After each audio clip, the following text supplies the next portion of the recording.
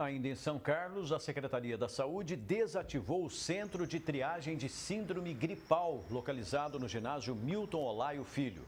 A partir de segunda-feira, o local será utilizado como novo ponto de vacinação e coleta para realização de exames do tipo PCR, com funcionamento das 7 da manhã às 7 da noite.